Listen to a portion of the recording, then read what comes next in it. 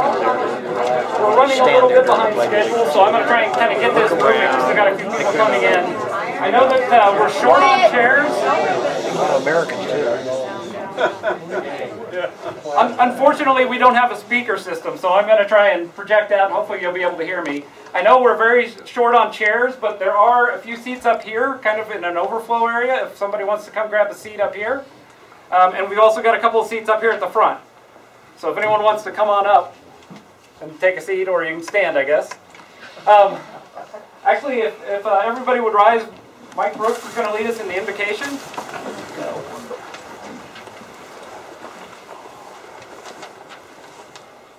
Heavenly Father, we thank you for this time that we can come together as a country. We thank you for each one here as we talk about your business of the Second Amendment and just other issues that are important for this country. We pray that you help us to remember that uh, you gave this wonderful country to us, and we just ask that uh, we can protect it and just make sure that uh, we're doing the things that you want us to do. And again, thank you for this great nation that you gave us. We ask this in your name. Amen. Amen. And if you will, please fa- face the flag. I pledge allegiance To the flag of the United States of America, and to the republic for which it stands, one nation, under God, indivisible, with liberty and justice for all. Thank you very much.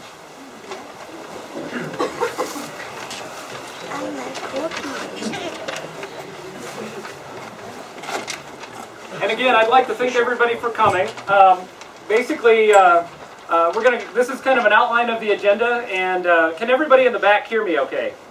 Excellent. Um, so basically, what we're going to go through is a little bit about the Tea Party, some of the things we're working on. So we'll have about 30 minutes here at the beginning. Um, we've gotten a little bit of a late start, so if you could kind of adjust that uh, for us a little bit. Um, but uh, we're going to go through a little bit about what the Tea Party is about, some of the things we're working on, and then of course, uh, I think many of you are here to see the sheriffs from uh, Ted Mink from Jefferson County and Fred Wegener from Park County.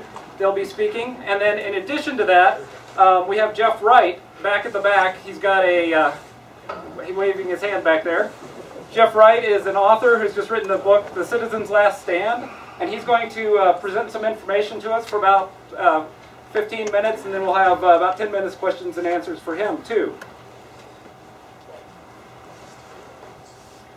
So what I like to do is kind of talk about what is the Tea Party and what do we stand for. And basically, primarily, you can break it down into two things. We're about individual liberty and limited government. And within those two areas, there are, of course, kind of these subpoints, too. But uh, fundamentally, what we're about is individual liberty for people. That involves personal responsibility, of course, and limited government, and that includes fiscal issues and things of that nature. So, basically, here at our Tea Party, we believe that action is more important than words. Um, and that we need to be proactive. For too long, I think conservatives, libertarians, liberty movement, they've we've been reactive. We've let other people set the agenda, and so what this group is about is trying to set the agenda and move it forward. We're, we're tired of following and trying and uh, being reactive. Um, we also believe that part of that is planning, and um, without planning, whoops, I just lost something. Did you plan that? Came unplugged. Nope, it's, let's see here. The computer's on. Bulb. Is there somebody that could uh, look at this while I keep going? Oh, okay. Oh, none of us have computers. It was sparking up, so. Was it? Yeah. I'll try it again here. So anyway, planning is an essential part of that. So um, being proactive also involves planning, looking ahead, and trying to figure out exactly where we're going to go. And um, the bottom line for this group is not talking, it's not education, but it's about winning elections because ultimately that's where it all counts. If we're not winning elections, we can sit in here, we can all come in here and we can have great speeches, um, we can all be educated, but if we don't win elections, then none of that matters. You're gonna have to wing it. I'm gonna wing it. I've got it right here on my computer, but nobody else can see it. That's okay. Oh, well, okay. Okay. Either over here. Very good. So, a, a couple of things about how we engage people. Um, we're trying to present a positive message here. So, a lot of that is when we're reactive, a, a lot of it is negative because we're seeing the bad things. So, by being proactive, what we're going to try and do is project a very positive image, a very positive message. We believe that there's a future. Uh, we're not doom and gloom. And uh, then, when we approach people, we're going to approach them with a few things in mind. One of them is that first, before we ask anything of you, we're going to invest our time in you. And so um, that, that means that uh, I, I think there has been a history of, uh, on, the, on the right of groups coming together and asking people to vote on election day, and then you never hear from people beyond that. So uh, one of the principles that we believe in is you've got to reach out, you've got to do things for other people before you can ask them to do something for you. And um, we also apply something called the 15-minute principle. And basically what that is, is the belief that almost every single person in this room will, will commit to 15 minutes a month to do something. And, hey, we're back on. Excellent. Has it been on very long? Okay. okay. So basically everybody in this room is probably likely to commit to 15 minutes a month to do something. And so what happens a lot of the time is um, that there's people will say uh, you, you might get an email that says we'd like for you to contact your legislators that email says go to contact your legislator well the first thing you have to do is go look up their information and and uh, find their email address find their phone numbers do all of those things and we believe that that that's something that we should be doing so that we can get you down to those 15 minute increments so if we're going to engage you and expect uh, your involvement to change the process, because ultimately this is all about elections, then we need to make things simple for you to be able to engage. Five minutes to send a message to both of them. Even though they both. So um, the next thing I kind of want to do is run through some announcements. I do have a lot of announcements, different things going on, and um, so I'm going to run through those. At the end of that, anybody who wants to, we have a two-minute announcement section and uh, so if you have anything you'd like to announce, we do ask that you, especially with this group tonight, kind of keep that limited to less than two minutes if you would. But if you've got a group that's meeting or anything like that, we encourage you to stand up and tell us about it. So um, I've got a lot of people that have really uh, pitched in uh, to pull this meeting together. And um, I'm very thankful for that. This I've, I've uh, been kind of down for the count. I've been sick for the last two or three weeks. And uh, without everybody's help, this probably would not have come together. So um, I appreciate that, and I uh, just in the interest of time to kind of keep this moving, since we're running a little late, I'm not going to go through um, everybody, but uh, I, I, do definitely appreciate all the help that I've gotten. Um, we do have an interest sign-up sheet that is back on the back table, and in addition, in your chair, if you happen to get a chair tonight, um, there was an information sheet that you could fill out, um, and on that sheet, it basically uh, what we'd like you to do is if you would like some direct feedback from us, or you'd like to talk to me personally, go ahead and put your name on the sheet, and then what you would like to talk to me about. And anybody who, who uh, leaves some information for me, I will definitely contact you. Um, the next thing is, this is uh, this doesn't feel like campaign season, but this is the time for political candidates to step forward. And so what we're really needing to do is to start if, if you're even remotely interested in running for an office, maybe you don't even know what that office is, but you're, you, you feel like uh, this might be the time, you're frustrated with what's happened, right now is the time to step forward and begin doing that. And so if you um, have an interest in doing that, please on that information sheet write your name and then just say um, political interest and I will call you and I'll make sure that we get you engaged. Um, just a couple of things, and I kind of wanted to do this briefly because getting candidates is so important. And uh, basically, a few campaign tips for this early. Um, basically, right now, the, one of the main things you're really trying to do is do name recognition. So if anybody is interested, really what you're trying to do is to get your name out. And you're going to be able to gauge interest by talking to people. So that's the main thing you're shooting for. Um, there are some campaign training classes, and I'll go through those in the announcements in just a minute. Um, one of the most important things is don't say I'm running for something yet. I mean, uh, you start to network, you start to meet people, um, but you can say, I'm, I'm thinking about this, uh, those types of things. And the reason is because campaign finance laws and all of those things start to kick in as soon as you're running for something. So you want to be cautious about that. Um, again, it's about name recognition. Um, the other thing that you can start doing is thinking about what issues would you run on. And um, basically what you want to do is probably become an expert in two or three, four areas. And uh, those would be things that you could then go to groups like this, or the Evergreen Tea Party, or uh, uh, Mountain Republican Women, and, and you can do presentations just saying, this is who I am, this is what I believe, and uh, you know, I've become an expert in this area. Um, and basically it's about networking and starting to gather a list of your potential supporters.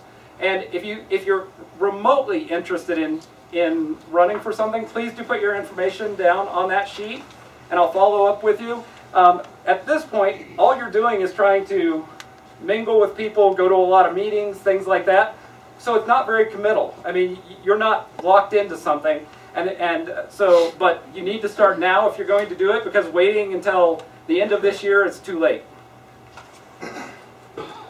So another thing that we have going is uh, campaign training classes. And uh, those are going um, on April 12th.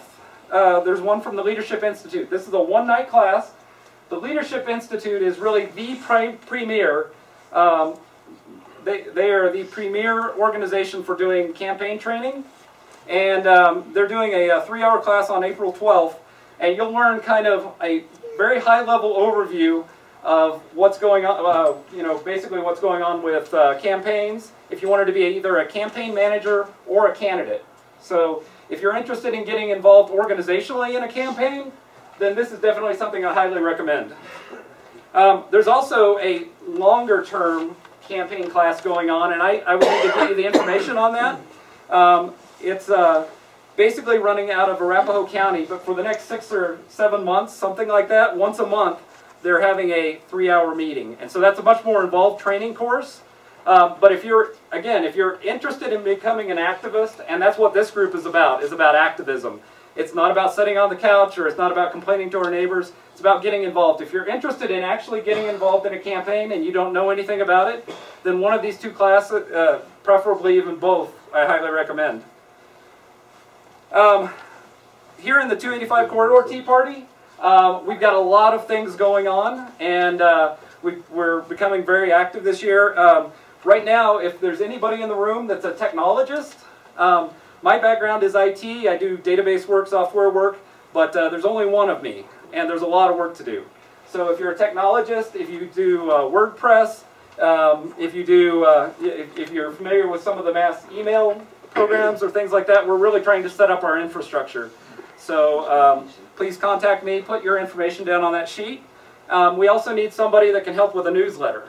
So if, uh, if, you're, if you've done newsletters in the past, it doesn't have to be complicated. It could just be a one-page Word document, but we haven't been able to keep up with all those things.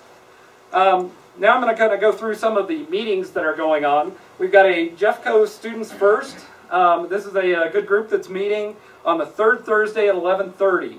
Um, and ideally, we'd like to have somebody from the Tea Party here go down and kind of uh, be involved in that group and bring, bring back some information about what's happening. Um, this is unfortunately kind of an inconvenient time for me, so I, I can't make these meetings. But uh, if anybody is interested in kind of being there as a representative, a liaison, if you will, uh, please contact me or put information down on this sheet. Um, our block party is another good group that's meeting. They meet down in the Littleton area. And um, uh, Jeff Wright, the author that we have in the back, is also going to be doing a presentation at our block party on this Thursday. Um, normally they meet at Bemis, uh, Bemis Library. How do you pronounce it? Bemis. Bemis, okay. Normally they meet at Bemis Library. Um, this Thursday only, they are meeting at a different location, Del Vecchio's restaurant. Um, there's also, uh, so this is down in Colorado Springs, and um, Brigitte Gabriel is going to be speaking on basically the influence of radical Islam in America. Um, so we just wanted to provide that information to you. Um, most of this information is available on our website. If there's something that you're interested in um, that, that is not listed uh, on our website or something, you can just email us through the website. But uh, she'll be down there on April 29th. Um, American Conservatives of Color, um, they're, they're having a Truth Transcends Color rally. And uh, that's Friday, April 5th. So um, coming up in a couple weeks here. And um, they're doing that at Tri-City Baptist Church in Westminster. Um, and I believe that is also on our calendar. Um, and then also Justin Everett. Some of you may know him. He is having a town hall meeting um, on Friday, April 12th. What you're seeing here is there are lots of opportunities to get involved. If you're interested in these things, please check out our calendar. Um, these are a couple of paid events. Um, uh, Dr. Tom Krannawitter uh, is doing ideas of uh, Ale Alexander Hamilton, just kind of exploring those. Um, and that'll be April 11th. Um, and then also, um, we've got a women's self-defense class called Armed for Her Defense. And um, that's going to be going on Saturday, April 20th. There's a fee for that. Armed for Her Defense is a uh, group that focuses on, focuses on women and Second Amendment rights. And so if you are either have your uh, concealed carry permit, you're interested in it, you're a woman that maybe has some questions about, about that and how it applies to you, my understanding is this is a self-defense class primarily, um, not necessarily 100%. This class is not all, about guns, but the group overall is about um, encouraging Second Amendment rights and things too. And then there is also a conservative persuasion boot camp. Um, Bill Kristol from Fox News um, and uh, Stephen Hayes, uh, you, you may recognize them from the news channels, We'll be down in Colorado Springs on May 3rd from 2 to 5 p.m. And there is a fee for that. Um, let's see, we've got, uh, most of this is all posted out on our calendar. If you don't know, our website is 285teaparty.com. Please go out and look at our calendar. We're starting to post uh, a lot of information about other groups in the area that are meeting, just because we think it's important for all of these groups to get connected and uh, to start working together. One of the problems that we've had in the past with the Tea Parties is they, they all kind of operate in their separate silos and there's not a lot of cross communication and what we need to do is we uh, I, I, I hear this over and over again. We've got to start doing a better job of working together. Um, I, I just put this one in because I enjoyed it. Um, hypocrisy alert. I don't know if anyone had heard this but uh, Bill Maher on his show apparently uh, he was expressing his frustration over high taxes and of course if you listen to him uh, he's always advocating those, and he only backs people that will do high taxes. But what he said was, liberals, you uh, liberals, you could actually lose me. It's outrageous what we're paying. He was basically upset about himself paying these taxes instead of other people. And so that, that brought to my mind Margaret Thatcher's quote, the trouble with socialism is that eventually you run out of other people's money. Okay, and at this time, if anybody else has some announcements, again, we'd like to keep these kind of short, so not too involved, but yes. Hi, um, my name's Carolyn, and I'm from the white trash part of Evergreen. I see a room of fine American patriots.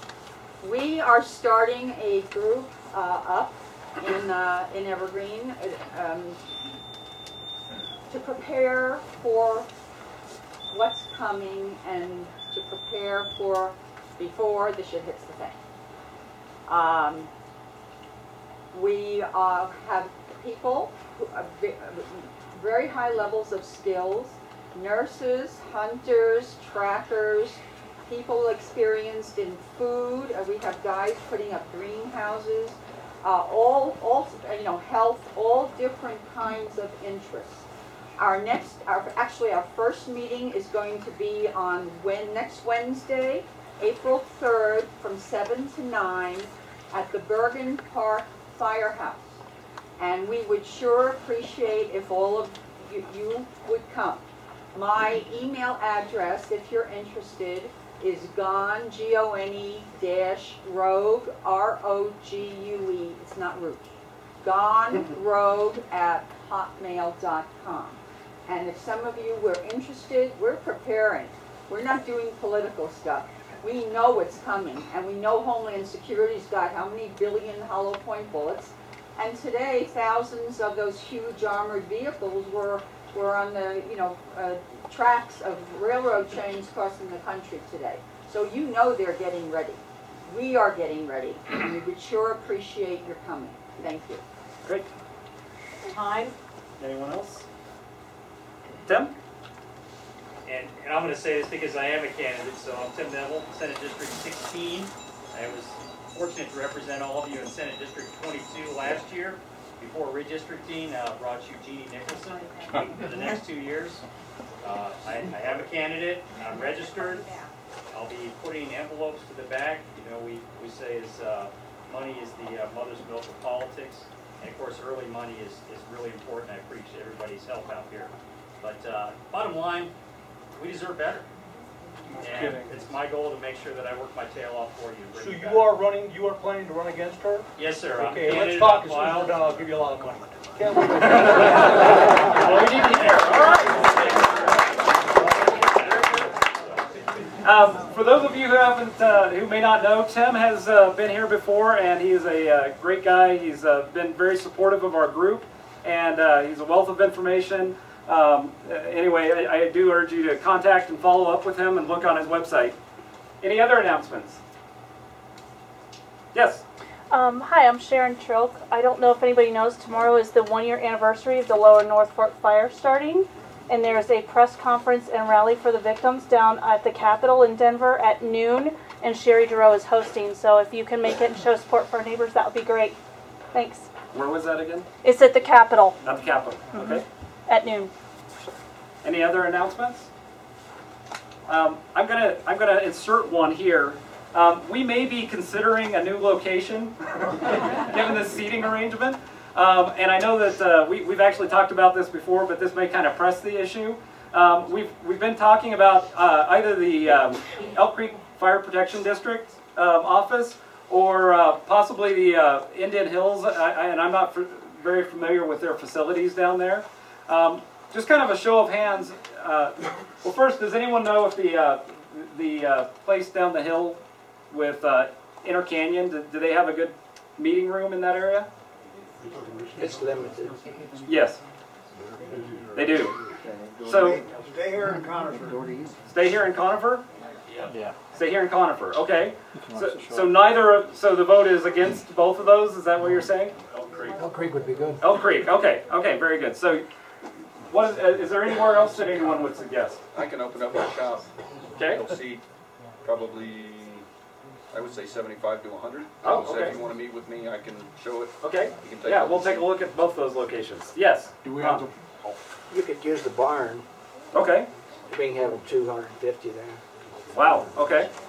And where where uh, exactly where is that? Evergreen Memorial Park. Okay. barn. Great. Fantastic. Well, we've got three good options. Anyone else? This may not continue to work for us, so very good. Um, so uh, the other thing I wanted to do is a quick poll on where some interest might lie for some of the uh, future uh, talks. Um, we, we've actually we focused a lot on Second Amendment rights here for the last several months. Um, if you're on our email list already, um, you've been receiving those those emails about what's going on with the legislature. If you're not on our list, please make sure you do get signed up before you leave. But um, we've been focusing on that quite a bit. I don't know uh, really where the interest lies. Um, just out of curiosity, how many of you are here primarily because you're motivated about Second Amendment and you knew the sheriffs were going to be here talking about it? Okay. And also, um, is there an interest in continuing having a small segment of each meeting for a while, as long as this is kind of going on Second Amendment, or uh, and then I, I don't want to burn people out on the same thing. But how many would be interested in having at least one speaker each meeting for the next several meetings? Raise of hands on Second Amendment. Okay, about fifty percent anyway. Um, these are some of the other things that we've been toying with for topics. And um, on your piece of paper, if you would, um, please write down either some of the things that you have in mind or maybe one of these options. But um, well, one of the topics potentially would be the GOP and the liberty movements, the Tea Parties, and how they kind of interface. Um, bring some people in to, to talk about how we could work with the GOP and um, kind of uh, maintain an influence in what's going on on the GOP side. Um, also, uh, we, I've had quite a few people that have talked to me about kind of the politics of division. I don't know if that's the right term or not, but basically what the left is exceptionally good at is dividing the population and then and then getting each segment motivated. And I think that on the right we tend to think more in terms of um, general principles and not divide and turn people against each other. They Um, lie, we don't. that's true too. Yeah, right. So um, anyway, the, I guess the, one of the things is that we've seen that they've been very effective at this, and you see it with a lot of minority groups where they've uh, effectively split them off, given them the things that they want, motivated them individually, while over here telling people maybe the opposite things, the lies, um, that motivates this group, and and they've been able to kind of divide these groups up and kind of turn them, uh, uh, uh, get get them focused in on um, their own special interests. So um, the question then, I think, for us in the liberty movements is that uh, is how do we address that? Do we address it by division ourselves? I don't believe so. I think there is a consistent message that can appeal to all of these groups. Um, we also have had some requests for messaging. Um, how do you, some of the controversial issues, how do we address them from a messaging perspective? Um, Second Amendment, of course, and then the other thing is um, legislators, um, people that are right now legislators, bringing in speakers al- along those lines. Um, if you don't know him, Justin Everett is another great guy. Um, and uh, we, we do have several great legislators around that could come in and talk to us about what's going on in the Capitol um, and what, what we can be doing. So if you would, please do write that down and make sure you either leave your piece of paper on your seat or leave it at the back table when you walk out. So this group uh, right now, this is our monthly meeting, and uh, the purpose of this group is is to provide educational opportunities, provide an opportunity for a big group to come together like this, talk about different issues, and find out what's going on, current events. Um, but really, what we're about is this 285 activists group. And um, the 285 activists are a group of people who are basically roll up your sleeves and let's get the work done.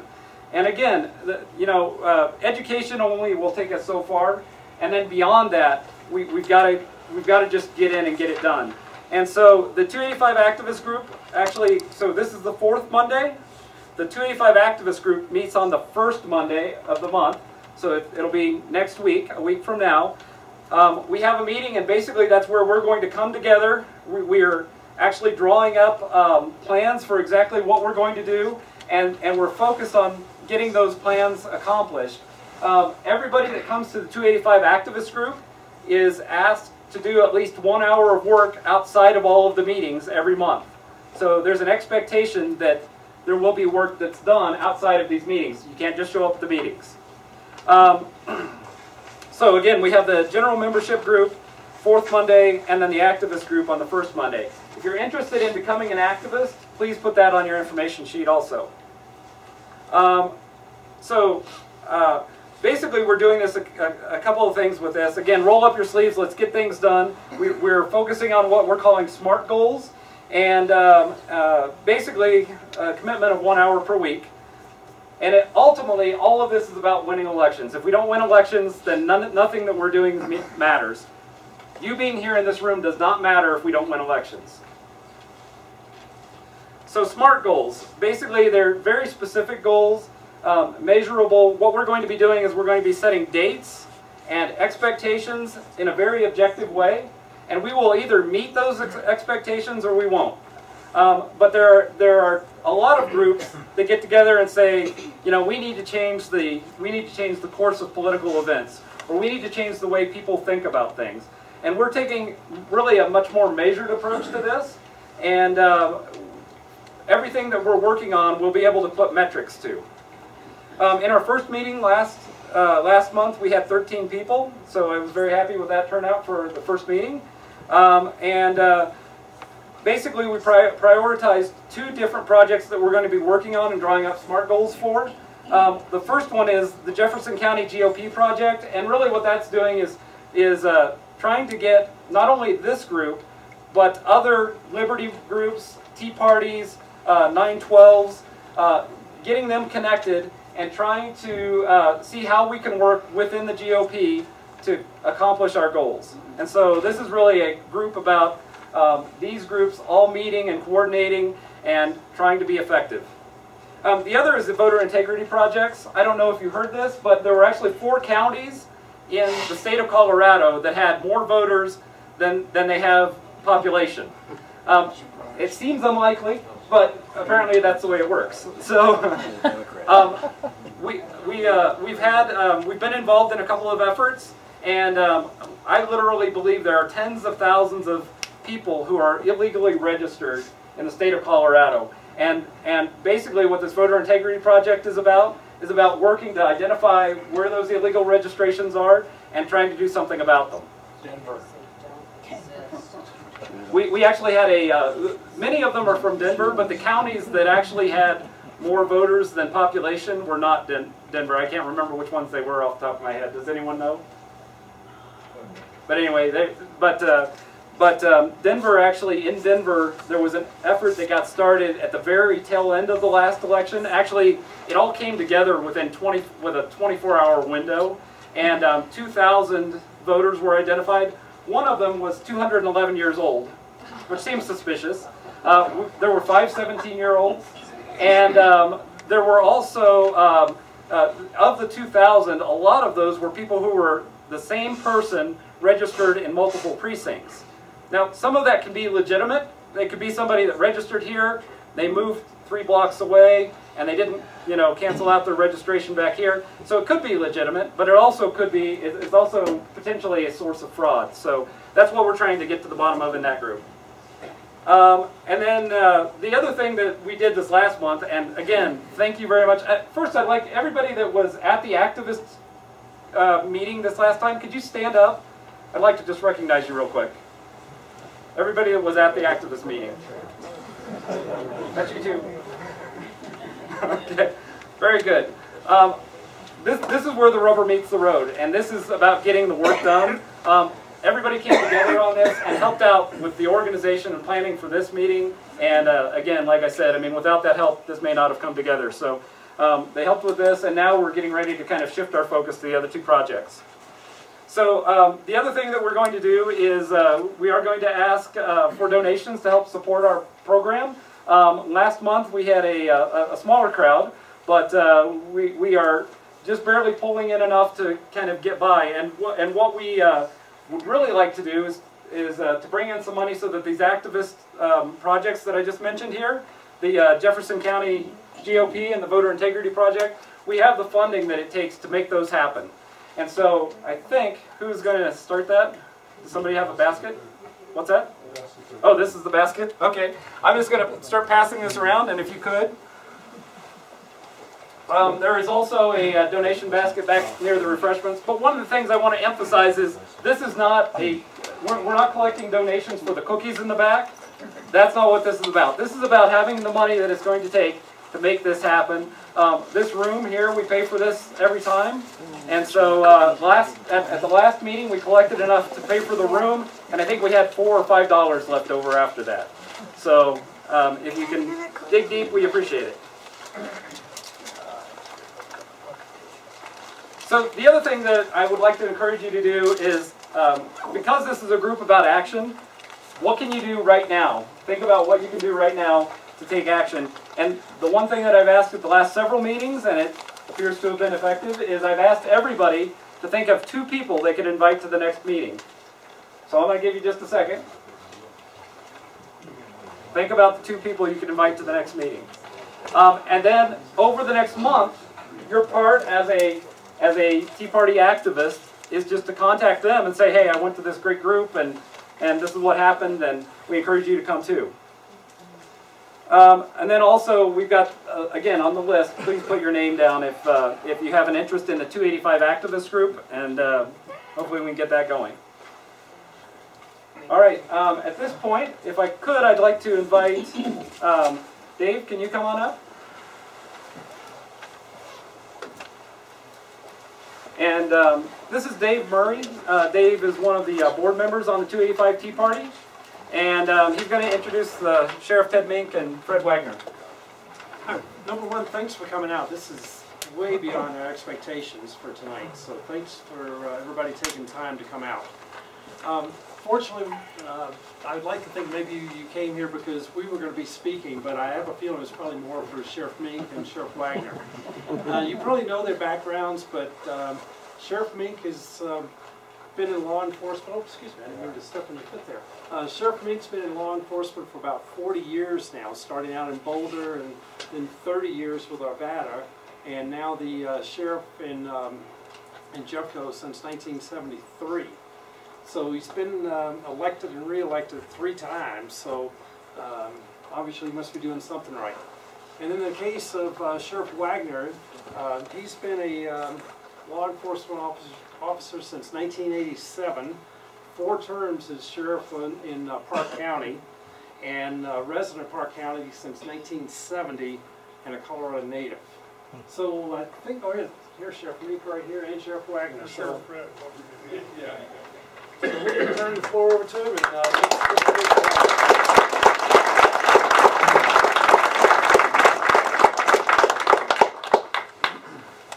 Who do you want to start? Yeah, do alphabetical. Yeah.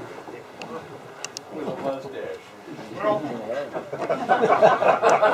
Fred always, Fred, uh, Fred and I have, believe it or not, we talked today about what we're gonna do, and we don't have a clue.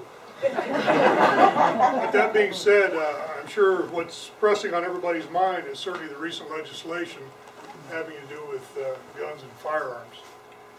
And um, I think Fred and I are in consensus that we're in awe that, number one, it got passed, and number two, uh, the mandates and the requirements of those pieces of legislation that in my opinion, I'm sure Fred will agree, we have no hope of ever enforcing because they're so convoluted, so general, uh, and there's a lot of issues involved with that. That being said, obviously they become law on July 1st. Now, legislators can make the laws, as you all know, as Senator Neville knows, can make the laws. But we, as law enforcement administrators, set the priorities for our organizations. And I guarantee for both our organizations and probably 62 of the sheriffs in the state of Colorado, that priority is way down here.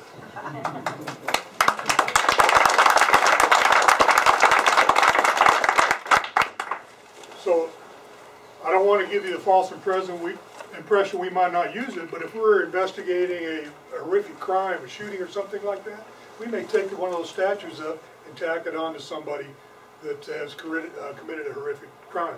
That's the only place I see those legislations, especially the, uh, the uh, magazine capacity, ever being used in our organization.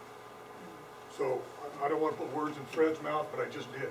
I was kind of looking forward to the background check, because I thought, I thought that meant that everybody's gonna invite me to their house every time they have a, uh, transferring of firearms. Um, no, uh, Sheriff Mink's uh, dead on, I, you know, we've, we looked at this, uh, you know, we, uh, went down and uh, testified, we met with, different senators and, and uh, representatives, and, uh, we, uh, apparently uh, are insignificant, uh, as uh, all of you. So don't you like that? Yeah. um, you know, I couldn't figure out when our lovely governor said that the majority of Coloradans wanted this. Now I see there's a lot of folks right here. So the majority of you, right? Can I see a lot? Uh, hands go up on how many wanted it? Yeah, yeah, there you go. Yeah. So, um, so um, are the sheriffs a little um, upset? Um, yeah, um, as I hope each and every one of you are. Um, I heard somebody talk about voting. Hmm, that's a novel idea. Because I think that the only way we're ever going to change this again is to make sure that uh, folks depart the legislature and we get folks in there that'll stand up and do something. I, a lot of talk. I, you know, I saw one senator on one of the uh, uh, committees, and uh, I was kind of shocked. Um, I don't think his mother knew he was playing senator that day, but um, he, uh, he just did not know. He thought that all of this was a joke.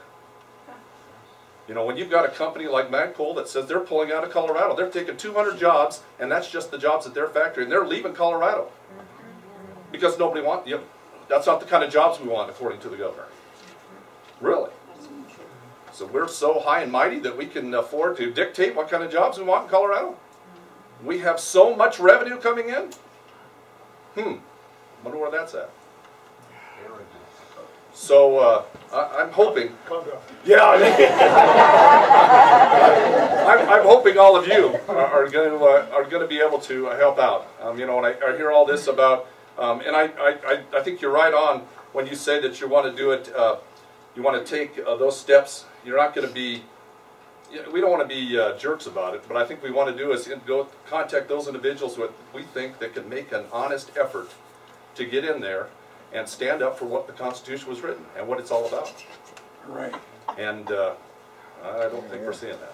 You know, Fred and I talked uh, back in January when the sheriffs met at the conference and decided to come up with a, a supporting document for our position. And uh, the, for whatever reason, the legislators missed the point.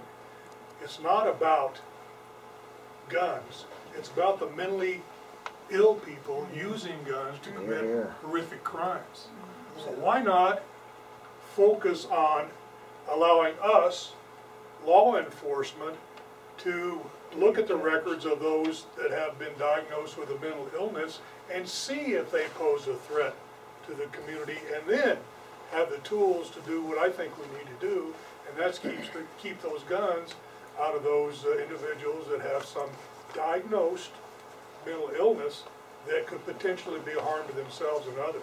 That's all we ask in our position paper. We focus more on that than we did anything else, but that went, I don't know where it went. It went in Never Never Neverland as far as an argument or support for our position. I will tell you, I think our backs were against the wall from the get-go because the, and I don't want to speak disparaging about chiefs of police, but uh, their organization supported all these bills. So the legislators obviously put more stock into their uh, support of the legislation than, than the sheriffs, which, uh, again, I don't get since we are elected representing constituents, but uh, I'm with Fred, I'm, um, if you want change, it's gotta start at the polls, it really does. Because we give, we give it, we gave it our best shot, and, and it was like uh, shouting at the rain with some of them. Uh, They need, to- they need to be woken up. Now that we've created controversy. There you go. That's it. Yeah, that's it. Sir. Um, I'm a retired 30-year law enforcement officer myself. Um, it's my understanding, I, I'm not expecting a legal assessment from you, but maybe you can tell everybody here whether you know or understand what's going on on registration. Federal law prohibits registration of individual firearms owners. This new law that they just passed on the background check includes registration. That's not my understanding. I, I did not see that part written in it. I think there was a, there's a conclusion, I think that's written in it. It's the only way you're gonna be able to enforce it is you're gonna have to have some sort of registration. I think that's what's implied in there. Uh, but it doesn't specifically say that, no. But I, I believe that's the foundation for the next step. Okay.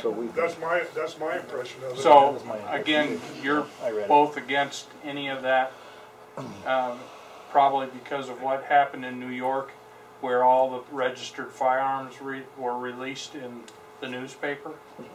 Yeah, the, uh, and Fred may differ, uh, in, in his thoughts on this, but we do background checks all the time for those applying for concealed weapons permits.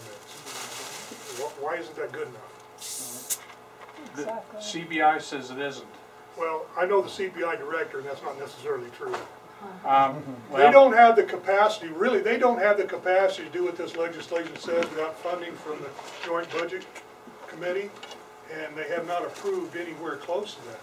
So, uh, they're capable of doing it system-wide Well, to the extent that the law, I don't mean to interrupt. no, I, no, no, I'm interrupting. I, I totally agree with you, but, and it baffles me, not only as a citizen, but as a law enforcement officer who had to enforce these kind of garbage laws, how this stuff ever got through committee, let alone getting passed into the governor's desk. This committees were stacked. Well, they're in control, and they're gonna make sure everybody knows it. That's what happened. Um, one, one other question. In, in your area, I go shooting up at, uh, Harris Park from time to time. Um, and I know that you said the priority level's down here, but if I'm out there with my AK or AR, whatever I might have that has a bigger capacity than fifteen rounds, uh, even though I owned them long before this bill, uh, if one of your guys gets called, is there gonna be a problem? Good question. How do you prove it? Yeah, That's part of, the- that's part of the problem with the bill. Well, I understand that, um, but I don't think it says that it's grandfathered either. I think dog running at large takes priority.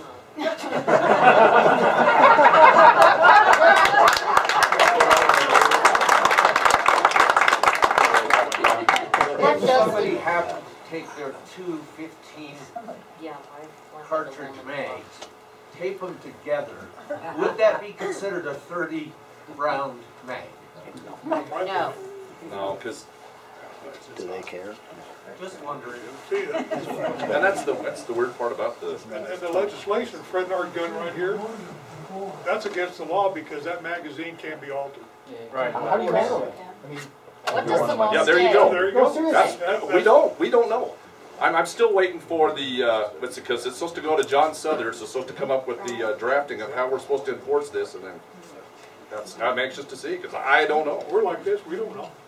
because all your SWAT teams, assault teams, are they gonna be limited to pins? No, there's a law No. enforcement exemption for Okay, that. okay. Yeah. Way in the back. Uh, what about on domestic violence calls? How's that gonna be handled? See, that, to me, that's, that's where I thought, if there was any, um, common sense was ever uh, brought into the equation, that these weren't gonna be sentence enhancements. So that if somebody committed a violent act and they have to have a high capacity, well, yeah, then I could say, okay, well, let's, let's do a sentence enhancement, like domestic violence, you know, it's a sentence enhancement.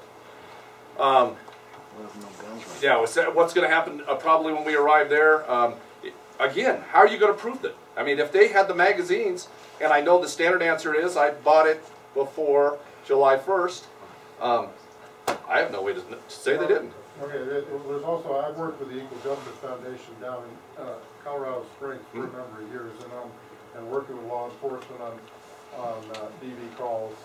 And, you know, there's, there's, there's a real problem with assessing the situation to determine, I'm sure you're aware of this, with, to determine, um, um, if the issue of firearms in the home is gonna come up, and there's particularly a problem with child protective services, getting very overzealous when there's absolutely Jersey.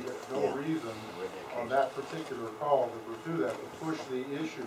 And under these laws, that would open a whole floodgate of issues when you're talking about, uh, uh, uh, going into a situation where, uh, starting into trying to implement parts of these law- laws is not really warranted, but, you know, but you're gonna have child protective services pushing on it, you're gonna have, uh, all kinds of other situations. So it's, it's gonna be a really sticky issue, uh, where this would have never come up before, now it's gonna come up a lot. I was just wondering how you thought about how that's gonna hand, be handled. Well, some of these issues, I, obviously are gonna have to come from John Suthers, but certainly your particular thing, we always consult with the district attorney's office, at least in the first judicial district.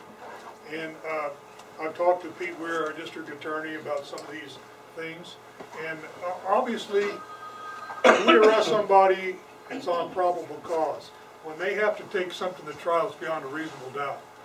All these legislations right now don't even rise to any reasonable doubt, so he's saying, how can you prosecute somebody with a thirty round mag who says, I had it before July first, you're gonna prosecute, I mean, who's to say there, what the situation is, but that applies to DVs as well. Well, there's, there's already situations going on, like in New York, and other, in other places where they started passing these restricted gun laws.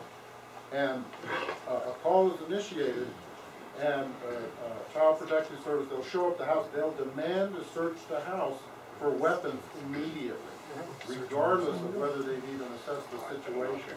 Still need a warrant.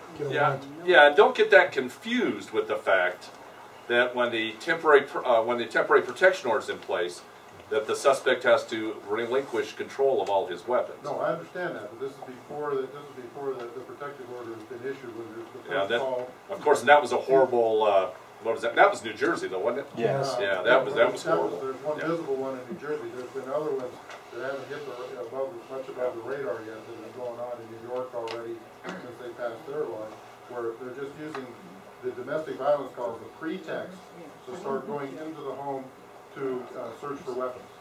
Well, that's why New York is jacked up.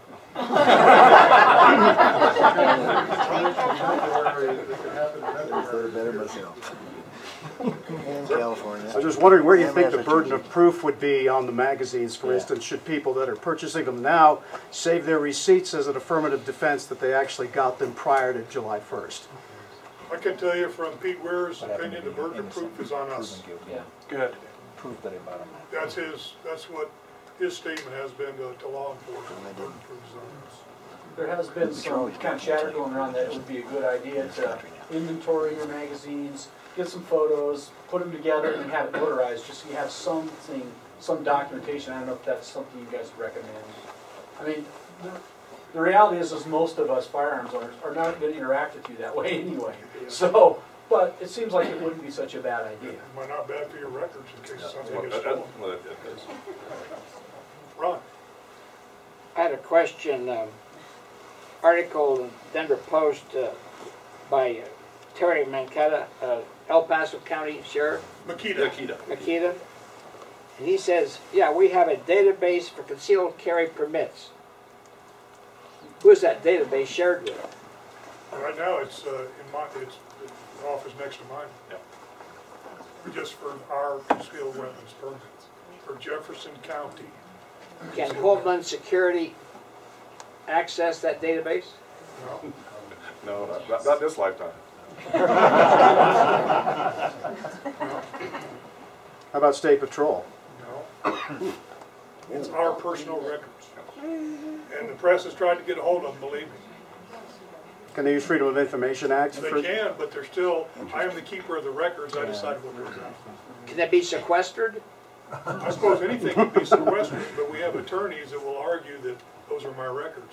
And they might, you know, we could have a fire. I mean, it happened. Yes, ma'am. God bless you. Can we vote out these anti-American Democrat marks that we have in Colorado? Something's really thick. Can, can we repeal these Nazi-style laws signed by the government? Yes. All right. Yes, you can.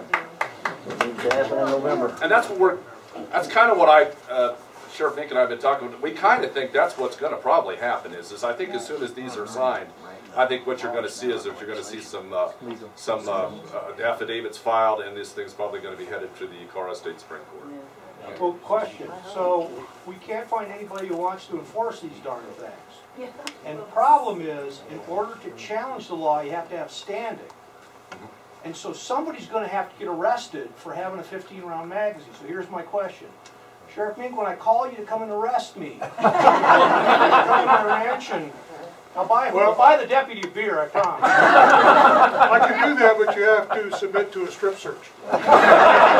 Oh,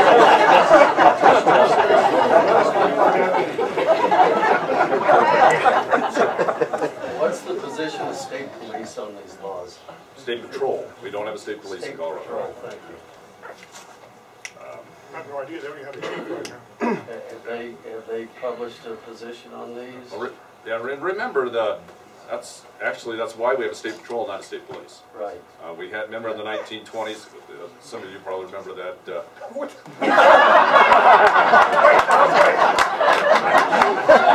had the Ludlow massacre, and because of the Ludlow massacre, we'll never have a state police organization in Colorado. So, yeah, I mean, they'll do whatever the, uh, um, you know, the state, uh, chief of state patrol tells them to. Yeah, they work for the state. If I might add to that, if any of you were at the Conifer uh, Town Hall, Terry Manwaring got up uh, and made a uh, statement that was pretty consistent with Sheriff Wegener and Sheriff uh, Mink. And who is he?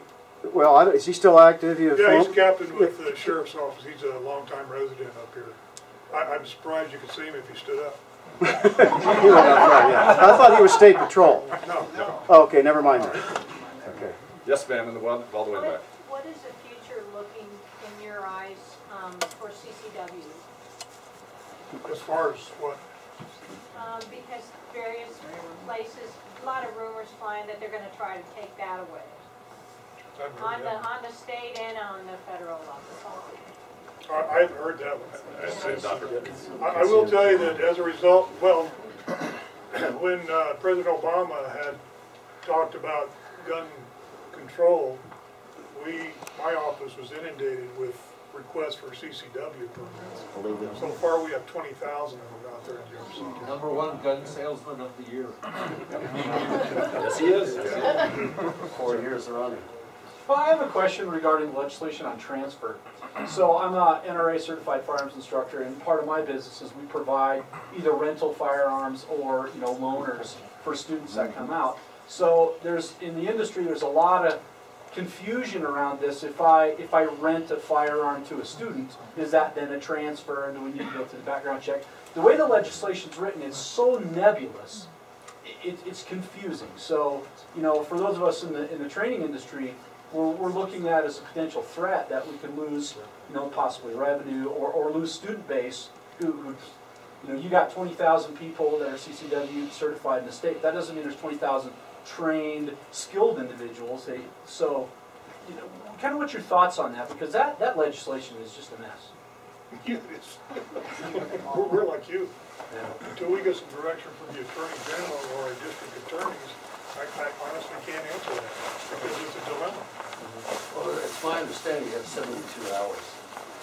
I can loan you a gun for seventy-two hours before it becomes a transfer under the new law. Still, still there's no mechanism for that ten dollar fee when you Yeah. sell Right, it to it.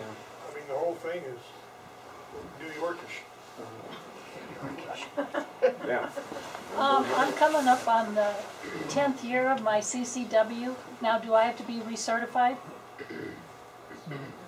So you got it, uh, you got it. Ten years ago, when it first passed. Oh, you got it, okay. Um, Five years. I think you got five, yeah, five years.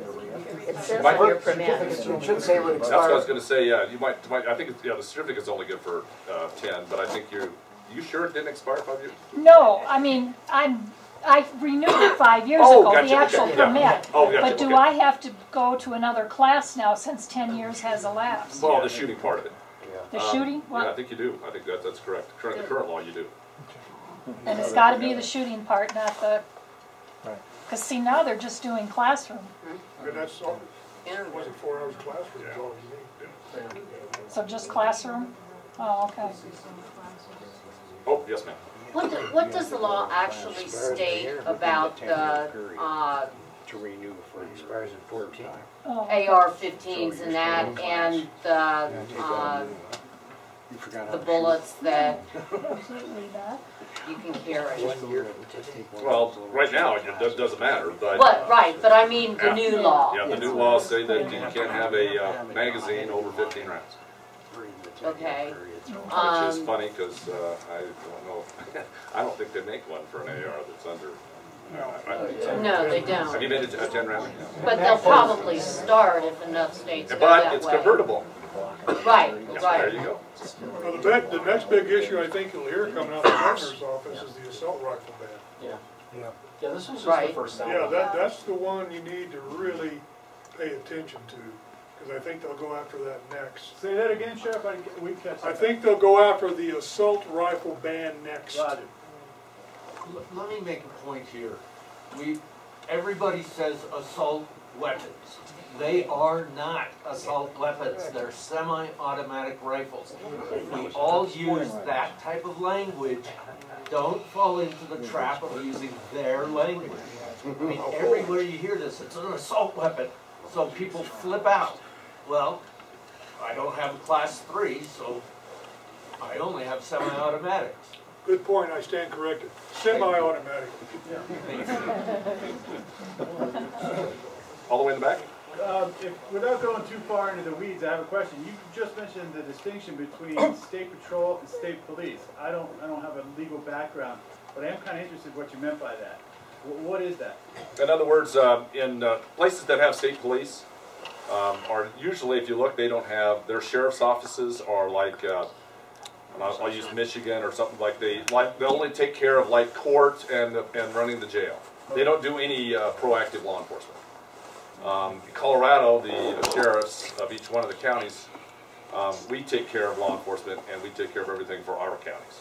State patrol, only thing they do is investigate accidents and uh, do uh, traffic enforcement on the highways and byways. Thank you. And then, uh, and then motor carrier and executive protection. Yeah. Yes, sir. Also, to address the uh, young woman's question about the direction of the concealed carry, the tenth federal circuit court of appeals has delinked CC with the Second Amendment. The slope is very clear. We are on a path to registration, which will lead to further negative effects for those of us who choose to live in this fine, formerly fine nation. Uh, I'd like to hear from Sheriff Mabel. Thank you very much for your years and years of service to this county.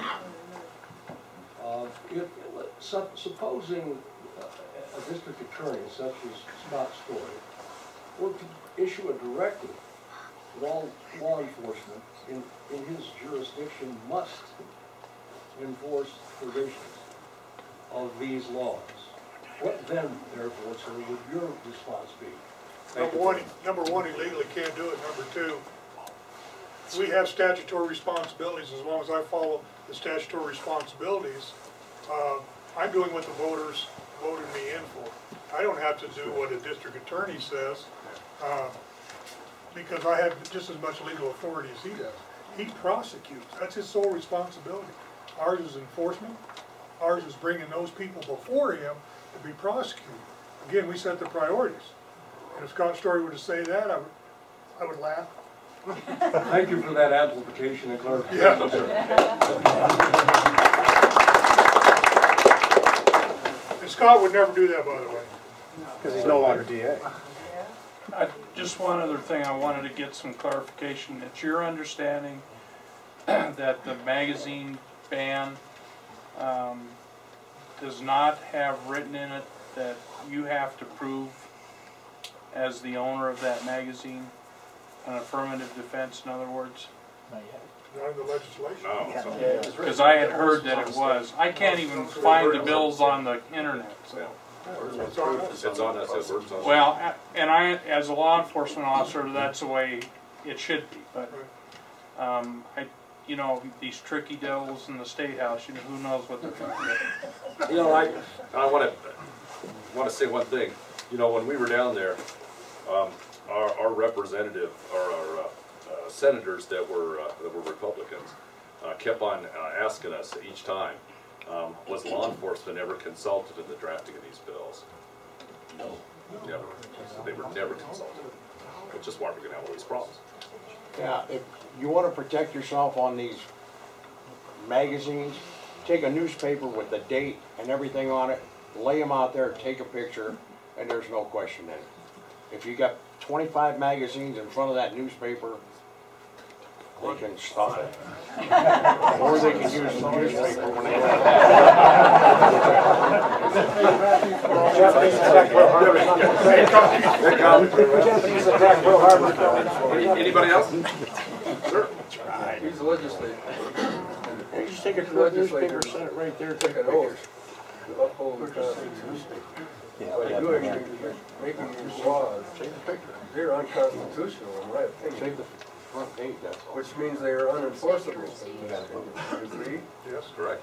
Now, you're, I'm sure you're familiar with Sheriff Cooke in Weld County. John, yes, been on yeah. the news, I love that guy. Yeah, I don't love him, but he's okay.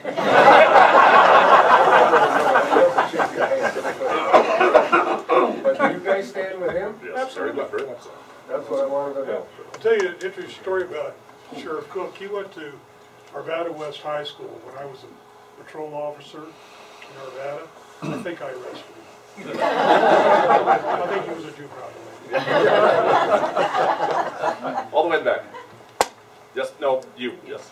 Since we know that the Socialist Democrats are really trying to take away our uh, Second Amendment rights due to the fact that it's really not to take the weapons out of the hands of criminals, it's really to disarm the people. And then with DHS buying up billions of rounds of hollow point, in your opinion, what do you think our government's really up to? And I'll defer to. Yeah.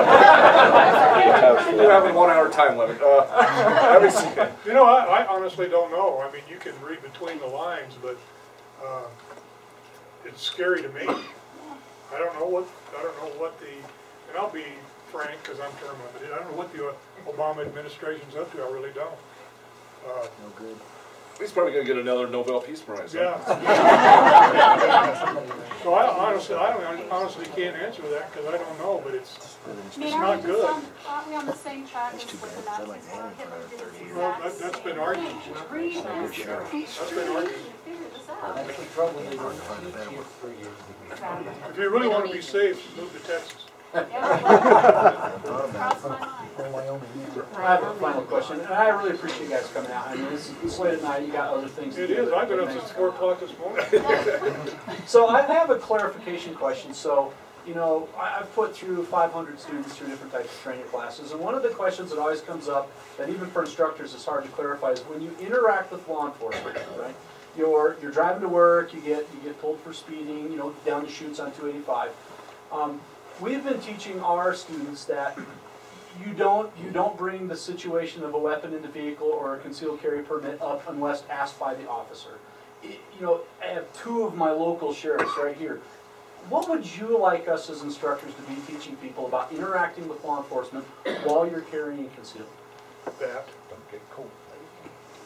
Just let them know. Yeah, let them know. It's If they ask, let them know. If they ask, let let them know proactively. Hey, by the way, guys, here's my hands. I'm I a would good wait, I guy. but- wait to see if they ask, because you're, obviously, they're stopping you for something Yeah. like speeding, especially if you're going through Morrison.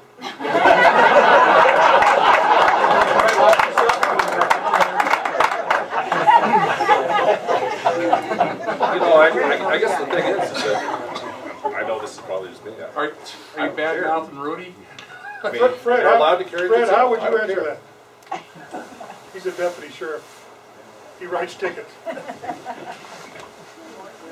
I, I'm very accustomed to having people present their, their uh, CCW. CCW to me on a traffic stop. It took a little getting used to. I say thank you, you, you can put it back in your wallet. Uh, If I ask, if I have a concern and I ask, all right, then I, I want an answer, but do you need to offer it to me? As far as I'm concerned, no. But if you do, I'm gonna say thanks. But it comes up on your system, right? You know automatically. Does it? But is it not true also? It doesn't. Okay, no, no, no, they, they, no, no, CBI had to dump that database. They, ah. see, they used to have, it used to be that we used to send the fingerprints in, and that CBI maintained a database of all the CCW holders. They had, that was dumped.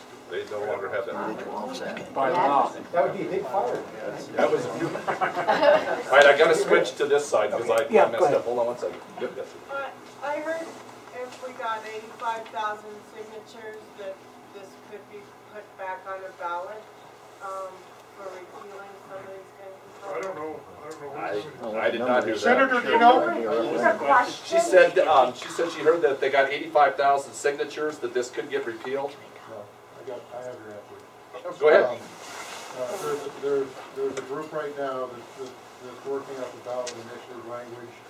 Uh, we need eighty-six thousand signatures for an initiated, uh, amendment uh, and, or, or an initiated referendum. However, each of the bills has an emergency safety clause on the bottom, so it can't be by initiated referendum, it has to be by initiated amendment. That language is being worked on, uh, is being worked on right now. Um, and, uh, there will probably, most likely, based on the initiative review process and the title setting process, there will be a ballot initiative petition out on the street sometime in the fall, collect, uh, and you'll need, and you need to collect a, a hundred and, about hundred and twenty-five thousand signatures to qualify eighty-six thousand ballot, um, or to be put on the twenty fourteen ballot. Yeah, I was gonna talk to that, the issue a little later, but. Everybody did, yeah. So that's what it's for, is to be put on the ballot in twenty Being put on the ballot for twenty fourteen, and that's going to be a project for this group, I'm, I've been telling, uh, groups all around the state as I've been touring, that that's what these groups are going as an action item coming out in the future. Uh, Everybody in this room collected a hundred signatures, it'll go on in a snap. I, I would call that a priority item. Right. So, uh, yeah, but it is, it is a work in progress, and, uh, and should be out sometime through the summer, you'll start hearing more about. Jeff, is there a, a group that we can connect with on that, or a Not- website? Not now, they haven't now? announced, this is all, this is all under the radar right now, so that, uh, they have the, the the committee that's working, of all the key people around the state, and, uh, are working on the language, and then we gotta review the language, this is, it's gotta be short and sweet, and, and directed to the point as a, a, a- as a constitutional amendment, that they can take all six, all, or all four bills out at the same time. Thank you. Mike? Yeah, I, uh, I've had a CCW for quite a long time, and um, uh, that question is always asked in, uh, when I have students, and I worked with the Park County Sheriff's Department for 20 years doing firearms instruction, and um, I, uh, I say, number one, we're all law-abiding citizens, so we'll never have a traffic stop, right? Okay. And, uh, and the next thing is, if you do pass the attitude test, that's a good thing. It's not, it's not specified in law. It's just a smart thing to do. Yes sir, no sir, not if you, you know, all that stuff that goes on. So those are good, good trick words right there. Now, if you've got a Colorado CCW, it's not valid in all states. Maybe Colorado has what they call reciprocity with about 14 states. So you better check if you go to New Mexico, your Colorado no good there. Uh, it's no good in Washington State and a number of other states around. It's certain nobody's is any good in California. But there's something good in California anyway. No, we There got- aren't any. There aren't any. That's Yeah, all here. Unless you're politically connected, yeah. Um, so, I got a Utah CCW, which is good in most other states, because they have reciprocity. But on the application, it specifies if you are stopped in traffic stop in Utah, you must discuss with the officer that you have a permit for concealed carry in Utah. So, travel when you travel, if you're invisible and you travel as a law-abiding citizen and never have any reason for anybody to stop you, you shouldn't have any problem. But you should know what your state laws imply.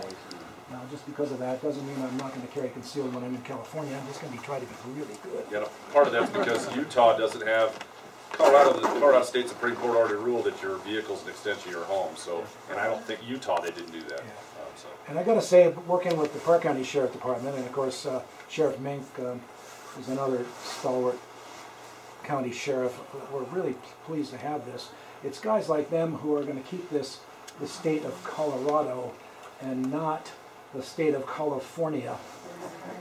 So let's support these gentlemen.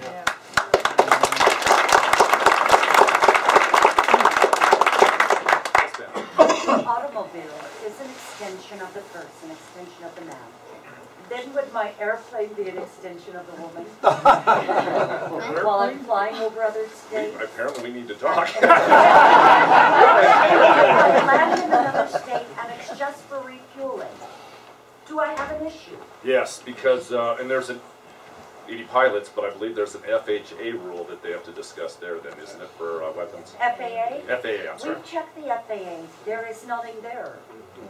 No, No? but if Oh, okay. Only if Well, commercial, I but think. think Only about for it. commercial. If the car is an extension, and I'm traveling across another state by car, if I'm flying, I'm in air, which is legal airspace. If I must land to get fuel, but I am not taking the weapon outside of the airplane, do I have a problem? That's a federal. Yeah. You will in New York. That's, There's yeah. a federal law that specifically addresses that, and it's happened, I'm originally from the Northeast. And what that says is that you have the ability to transport those weapons locked, et cetera, et cetera, with the ammunition aside, with, uh, uh, with- I think they call it without, uh, with no undue delay or something like that. And a couple of those guys got hemmed up really hard in New England because they stopped and stayed at a friend's house overnight with a weapon. Um, apparently, if you stop them for gas or any reasonable stop, such as you would with your aircraft, that sounds like it would fall directly into that federal legislation. I wish I could answer that, but I hate to fly. I'm a good pilot. Brian? Um, there are um, international regulations that prohibit carrying firearms in an aircraft. They have to be in an external lockable um, hold. I, I know that because I have an exemption in the UK. Well, that's commercial. Yeah, commercial. Okay. No. That's also private? It's, it's private any also. aircraft, it's not commercial, not private. Five minutes. Thank you. I had a second um, question Is that what that means? to ask. I thought you were Take rating. I thought you were rating. I thought you were rating ten. Dance with the stars. These laws are pushing up the prices of um, firearms and ammunition. Yes. How is that going to affect your budgets? I can say from our standpoint, the ammunition is getting harder and harder to get. I don't think the prices, because we have a yearly contract saying, okay, we're gonna buy so many rounds for you, but the delivery is becoming, becoming scarcer and scarcer because of the, and we, we burn up a lot of ammunition, as you can imagine, but, we're okay, because we stockpile some, but I was about to say that's gonna happen. No, you can't borrow. Adamson's, uh, you know, I buy my ammunition from Adamson, and I think uh, they're six months to nine months out, so I mean, it's, it's Have you had to cut back any of your training because of ammo? Yes, sir. I've been advised by one of my instructors to, to use the same ammunition that the sheriff uses. Do you standardize your, your ammunition? What do you do? I use the bullets. Uh, You know, we use like the gold dot um, uh, ammunition, is that what you're talking about? Uh, For, uh, some of you'll Either have like the the- tactical federal. uh, The loads and the type of uh, bullets, that you don't use hollow point? It depends on, uh, depends on the situation, but now there is a difference between what I use for practice and what I use for duty, uh, you know, as far as that goes, but. No, it can change, Ron, it can change from jurisdiction to jurisdiction. I can tell you Arvada doesn't use the same ammunition as Jefferson County. They use different brand and, and uh, grains and everything else. Um, I know that uh, there's a lot of interest in Second Amendment issues, but also we'd advertised that we were gonna ask you about some, some of the marijuana laws. No, I wish you wouldn't, that's a mess. Bigger mess than this. Is that gonna take priority over the gun laws? I, I know a uh, deputy from Teller County, and their facility is shared with uh, federal agencies. And because it's Uh-huh. illegal on the federal side, but their facility is a state facility, it's creating issues. And what, what are some of the issues you're seeing with the marijuana laws? What are the biggest things that are gonna create problems for you? Well, the, the definition of what's a grower, what's a retailer, what's a, what's, what's the other terminology, I forgot. Dispensary. Dispensary, and that legislative task force is supposed, is supposed to give some direction uh, to law enforcement of what all this means, but we haven't seen anything yet, I don't believe. I honestly think, and if you're one of them, I apologize, I honestly think the voters were hoodwinked because they saw this thing, oh, I can possess an ounce of marijuana, I'm gonna vote for it, and then you got ten or eleven pages of these other things that's gonna do nothing but create a huge market for marijuana in the state of Colorado. We have a drug task force in Jefferson County, and they're already seeing the cartels are starting to use this as a dropping off point for their product, even though, even though the, uh, we have to October, I believe, to, to fully realize the impact of, of, uh, Amendment sixty-four. Uh, Again, it's, it's federally against the law. Well, I was gonna say, doesn't federal law Oh, supersede state Yeah. law? No, No, it does not. Yes, it does. See, see these retailers, you know, you, they don't, even banks can't deal with them because they can't, banks will not take cash that violate federal law. Selling marijuana violates federal law, so what are you gonna have? You're gonna have a bunch of retailers with a lot of cash, we know where they're gonna do it, they're gonna have to launder it. They're gonna have to launder the money to legally get it into a bank. That's That same- creates a whole new gambit of fraud and deception. That's true now with the medical marijuana, right? There's, there's no difference. Right. I mean, with the cash and. and Well, that's why uh, a lot of them are getting robbed for their cash, because they know they got all the cash on hand. Except the state got sixty million dollars last year in taxes. E-cash. I've been gone for a long time, so I can't speak to it, but as I recall, Denver had a legal limit uh, of THC in your system for marijuana. They tried to pass one. You, t- you talking about for the uh, driving? It- Yes, in, in Denver. Yeah. Point five Yeah, yeah. I don't think Denver has it. No. I don't know. I- Did- That's what they're working on. There was supposed to be a bill. I don't know what happened to it. I thought were trying to do Denver had a, had it in Still, their, no. Had it in their law. No, no, we did, it did not get passed. I don't, I don't think they have a, uh, would it be a- an ordinance? I don't believe they have an ordinance in, in Denver for that. Not Oh, yet. Okay. Is the only way to test for it uh, by a blood test, like blood alcohol level, THC by Yeah, but you know, we blood? have drug Blood urine recognition experts that Right. kind of, I mean, they're trained on how to diagnose. Again, you have to have probable cause to stop somebody based upon their driving habits, much like. Well, you unless are. there's a lot of Doritos in the front seat. Well, that's It's hard to, hard to But yeah, know. the, the- the five nanograms is detected by blood. Okay. I think right now the biggest item, you've probably seen the cartoon that's out, uh, where it shows the, uh, up on the border and it shows the guy from Colorado selling the marijuana and the guy from Wyoming selling the mags. Yes, sir. I've been uh, wondering, uh, when the sheriff's association, uh, uh, put your, uh, what do you call it, what you had to say about the gun business, how close was the vote? For, for the sheriffs? Yes. Oh, unanim- it was unanimous for the sheriffs. Okay. Yeah, oh yeah, all, all the sheriffs. I think, uh, yeah, we, we, can- we, and the only thing that you have is there's sixty-four counties, there's sixty-two sheriffs. Denver, Broomfield, of course, have uh, advantage of, uh, Department of Public Safety. Well, Denver, uh, has a sheriff's department, don't they? They have a sheriff's department, they do not have a sheriff. Oh. Yeah, they run the jail. It's run by, uh, Director of Public Safety, Yeah. I can't remember, Gary? Gary Wilson. Yeah, Thank you, Gary. Did I hear you right, that you said it was unanimous? Yes, all the sheriffs, Sixty-two? all sixty-two sheriffs support this. And the chiefs of police, was it unanimous? Their association, which is the uh, Colorado Association of Chiefs of Police, supported the bills. Unanimously? I don't know what they're, I don't Okay. know. They have their own association. Well, that's gonna be difficult to fight, No. right? Do- Doesn't the sheriff's departments collectively have more square miles than the chiefs of police? And We got more All right, stars first too, of all- look at that. First, first of all, don't ever try and bring logic into the conversation.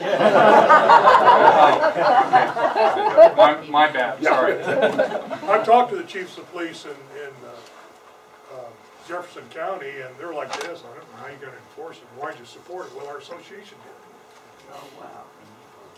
We'll do maybe uh, two more questions here and we'll kind of start. Yeah, to 'cause I gotta wrap go up. have a beer. There you go. Two more questions if we've got those. And then arrest yourself for drinking and driving. I'll be at home. So, I just thought, you know, this is a great opportunity for you guys, for you guys to tell us, kind of what are the biggest issues you see in Park County and Jefferson County, especially in these rural areas? Is there a, a particular type of crime or a particular type of activity that we need to, to look out for as residents up here? Biggest, the biggest problem in Jefferson County is Park County.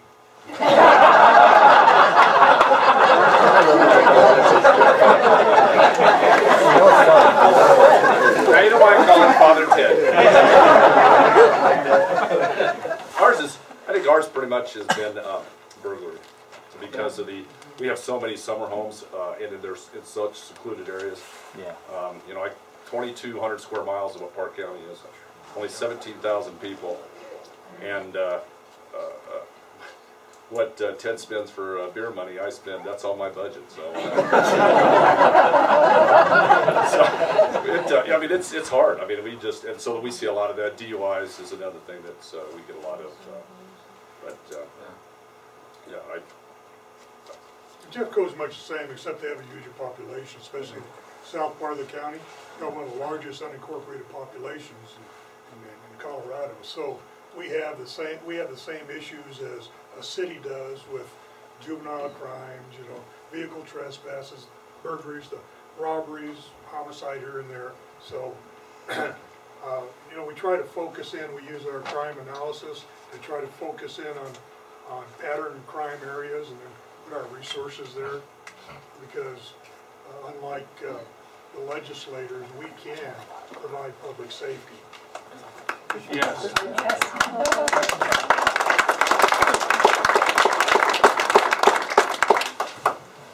One, one last question?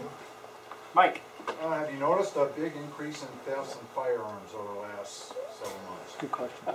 Only from Gunsmoke Gun Shop. Um, you know, I, actually, I, I, we have had a problem with that in some of our other burglaries, actually, before this came up. Um, and that was because, uh, folks were coming up and they've got these cabins that they, uh, only visit, uh, you know, on the weekends or whatnot, and they leave those, uh, in the closet and not locked up. And so, uh, I, so I guess that would be a biggie if, to pass along, that those folks need to, you know, either put them in a gun safe or take it back with you when you go back home. Um, Actually, we've done a real good job though on, on getting, uh, most of those, uh, back to the rightful owners, Good. which is always good. That doesn't happen very often. Sheriff, Sheriff Mink and Sheriff Wegener, thank you very much.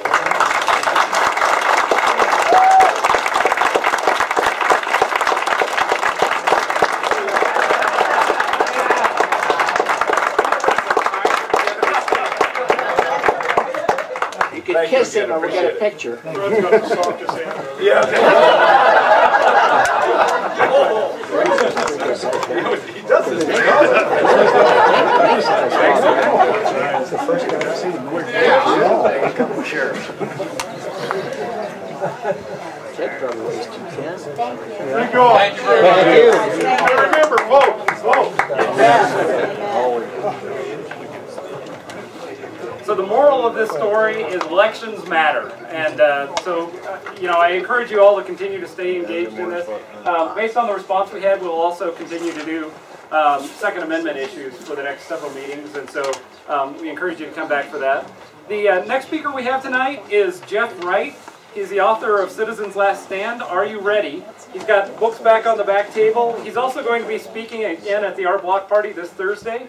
Um, but I'll let uh, Jeff kind of introduce himself. He is a he is from Colorado. He's now living in Idaho, I believe, and and uh, but uh, he'll tell you a little bit about his book, and and um, we can ask him some questions after that. Thank you very much, Lauren. Um, Obviously, there's going to be, a- there's a whole lot of issues that's going to come from the firearms issue. I did want to say a couple things further up with regard, to the three-pronged approach that's being taken with regard to the the ballot initiative, the initiated amendment is going to be one. Second is going to be test cases. Uh, The gentleman wants to get himself arrested, okay? It- it- it- There's going to be test cases that are going to be set up so specifically as challenges to take through the court system and to initiate lawsuits. Um, The third is going to be targeted recalls uh, in specific, and starting, one of the first ones that's starting up is John Morse down there as the Speaker of the House down in Colorado Springs, because it's in an extremely weak district. You only require 6,800 signatures, uh, uh, valid signatures to uh, initiate a recall.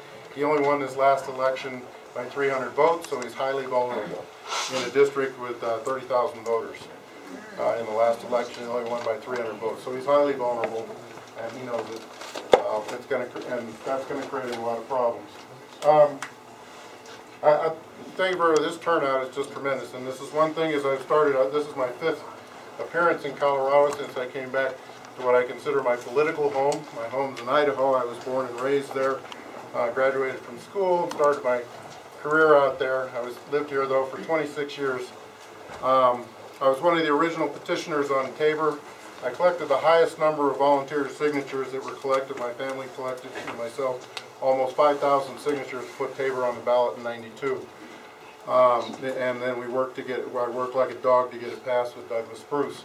And I've worked with him since then to try and protect it from all of the attacks that have been made against it. Currently, the Independence Institute, and I, I'm proud to say from that effort, the Independence Institute has estimated that Tabor has saved the, citizens of the state of Colorado, the taxpayers of the state of Colorado, between 11 and 13 billion dollars since its inception 20 years ago. It's an incredibly powerful piece of uh, uh, legislation and uh, has an amendment, and it should be and it should be highly protected. It's one of the most important. I'm trying to work on getting it passed in Idaho right now and getting it into several other states. Um, I will have I have a personal note too on Douglas Bruce. Uh, I've known the man for 20 years, and, it, and, and knowing his mother, uh, 22, 23 years now, knowing his and knowing his mother while she was alive, she was the first one to tell me Douglas Bruce is probably um, not socially acceptable to a lot of people, but he- he knows exactly what what he was doing when it came to protecting the taxpayer's wallet in Colorado. I can also tell you, having been personally involved in this trial last year, that it was a sham by the Attorney General.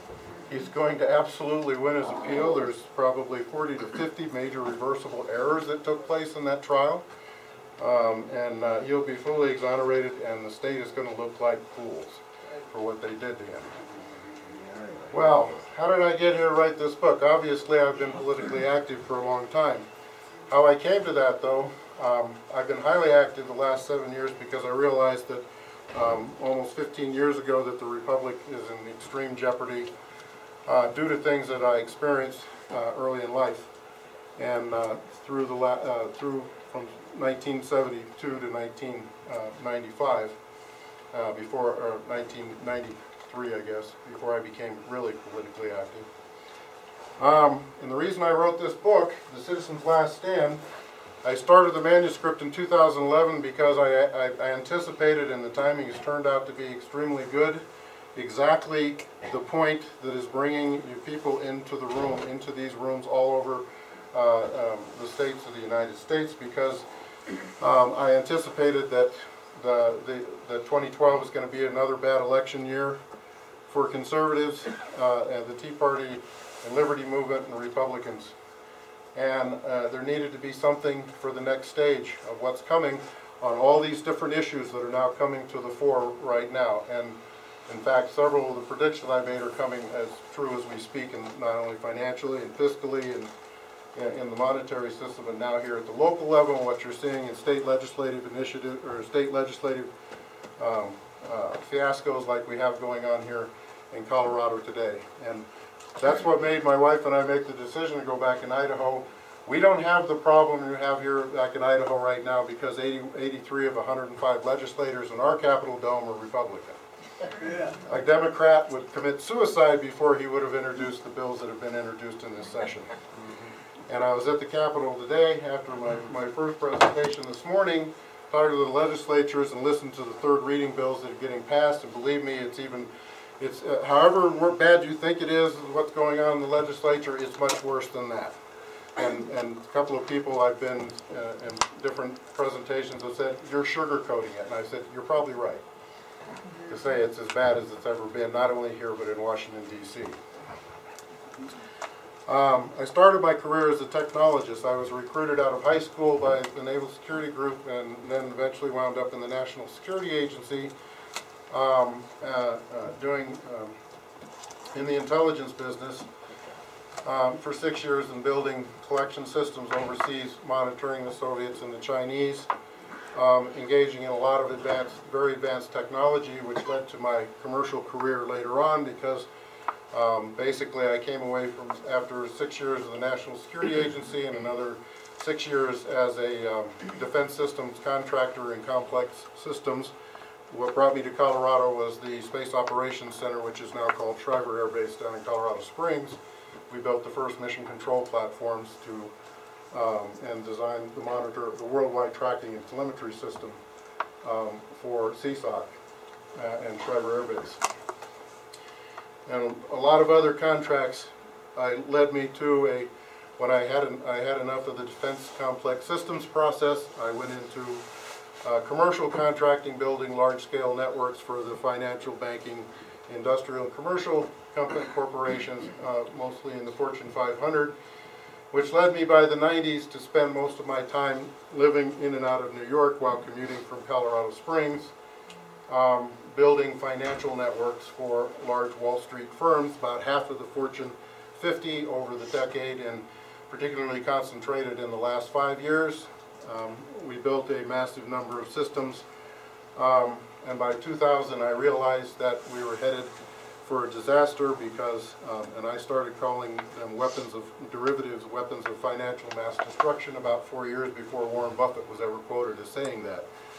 But um, it became obvious to me by the end of the 90s that, because all we were being asked to build was large-scale derivative trading platforms, in 90, which have which have which have become the Tyrannosaurus Rex of, of what's coming in the next phase.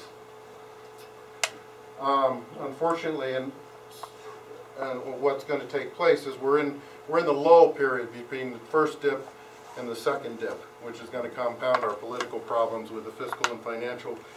Uh, primarily the fiscal shenanigans you see right now are, are highly predictable and easy to assess where they're going to go. And I go through those analysis and assessment to kind of give you an idea of how this whole framework is put together and how it's going to come apart and what we're going to have to do at the state and local level to protect ourselves. The last five chapters of the book basically deal with the issues from the state level on up. And the sheriffs, I have one, I was going to tell them, chapter 17 they'll like especially because chapter 17 discusses the restoration of the constitutional county sheriff, which everybody is coming now aware of is so important that the sheriff be uh, the, the lead law enforcement officer and they do it in a constitutional manner in order to stop these intrusions, not only from the federal government, from their states, the unnecessary federal intrusion. And it does intrusion. And it doesn't just surround guns. We have a we have a whole bill of rights there. There's all the different rights, and all the rights have to be protected. Everybody concentrates on the guns right now, but I guarantee you're going to see that this what needs to go on and what's going to become very evident soon is that it's going to involve a lot of other issues of rights that, that the people need to protect other than just guns. And so all those things together is what I put into the book along with my 20 years of activism here in Colorado because once we passed Tabor we found out that, oh guess what, they're going to continue to attack it forever. So we've spent the last 20 years, you know, what I usually tell people is that Douglas Bruce gets all of the publicity and the, and the subpoenas. I only get the subpoenas. it, it's, it's been a really crazy, it, it's unbelievable what has gone on. And unfortunately, we have a Republican Attorney General who is leading this attack because they want to destroy Douglas Bruce so that he can destroy Tabor. I guarantee you, and it's going, it's coming from both the left and the right. We have as many problems, we have as many problems in the Republican Party in some ways that we have in the Democratic Party. And people have got to start realizing and being objective. That's why the title, or the, the cover, has the, is the symbolism that a friend of mine developed, right? This is the red-blue wall that exists, and this is the individual busting up through that wall. Because it's the, it's the individual citizen that has to take control of this republic again. Otherwise, we're going to lose it. And we're going to lose it for all the, the reasons and the, um, and the analysis that I put into this book. What I, my goal was is to take things from about 20 different books you can read on government and politics. And based on my experiences and my background in these areas through the intelligence industrial, the military industrial complex, through the commercial and financial and banking and industrial industry, because to build networks and technology platforms for all these companies, you have to know exactly how they work. And when you see how they work, you go, oh my gosh, some of these uh, some of these are not working very well for a lot of reasons. And one of them is the hyper what I call the hyper-regulatory state. We are reaching a point of hyper-regulatory-ism that is destroying our ability to produce in this country.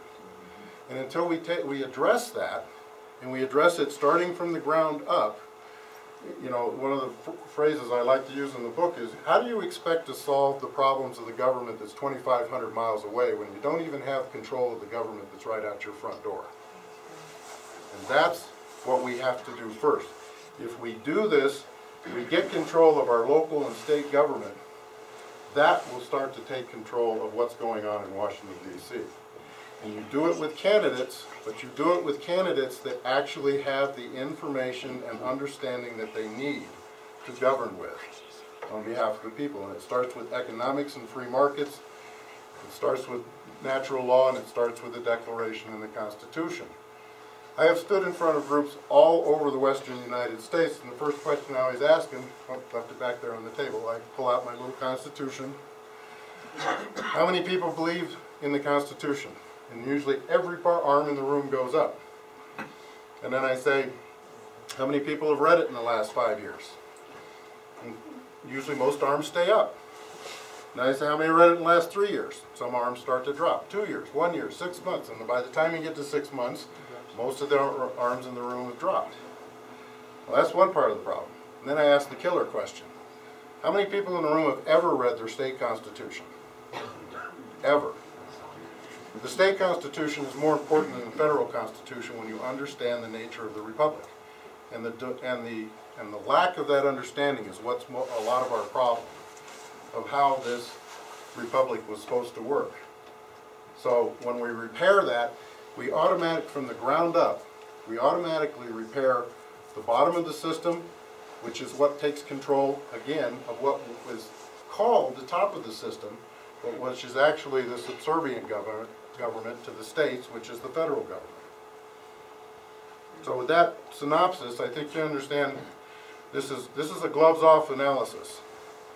It's not gonna make a lot of friends in the establishment Republican, and it's definitely not gonna make any friends in the, uh, the Democratic Party. But it is going to tell, it does tell the truth, and it goes, does get to the point exactly.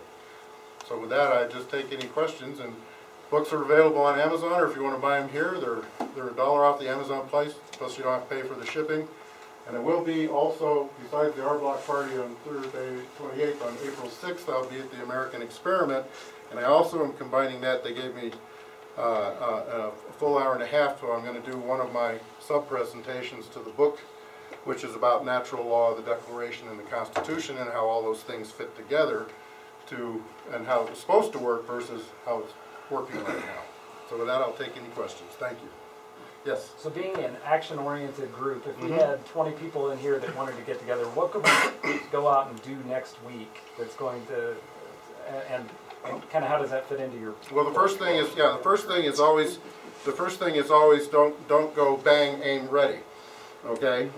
Uh, When, when you, when, when, when you get ready to fire off, it's just like the, the group that wanted to start the ballot initiative, they want to announce, they said, no, no, no, doing ballot initiatives for twenty years in this state, first of all, until you have your petitioners lined up, until you have every, your language set, you've gotten through, you've, you've gotten it through the initiated, the initiative review, and all these things, you have your petitioners actually lined up and ready to go, you don't announce anything of any, of any consequence, right? You have to first get yourselves properly organized, you have to have the foundation of education to understand at the, at the very bottom, what your relationship with your government is, what your, uh, what the functions of the government are, you know, where, how does the city, you know, is a home rule city versus a home rule county versus, how does, how does the state actually work?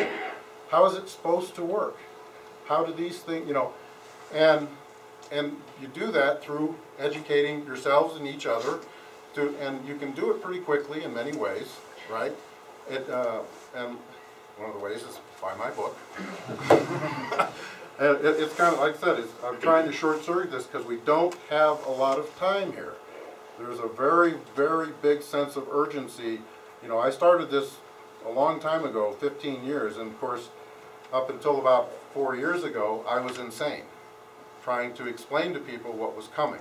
You know, when I left Wall Street and ran out of New York like my hair was on fire, tried to tell all of my friends and relatives and everybody I could, you better be prepared for what's coming in the, in financially in the next decade. And they looked at me and they go, Jeff, you're crazy. My house is going up. My, you know, uh, my 401k is going through the roof. And I'm going, talk to me in 2010. Of course, now, you know, by 20, 2008, now they're calling me up going, what do I do? And I'm trying to explain, you know, well, now you need to take these steps. But I'm saying, these are things we should have been doing 10 years ago.